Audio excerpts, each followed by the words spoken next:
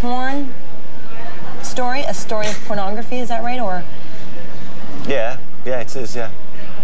It, it takes that as a kind of starting point for talking about um, um, generally how people can get used up in things, you know, um, of passing a point of no return. But you can't keep that pictured emotion, do you know what I mean, forever. and thanks for the sex talk. It's okay, Anytime. anytime you want it, yeah. After four in Canada. Fifth Avery, screen test, take two. I didn't take her to the motel. She took me.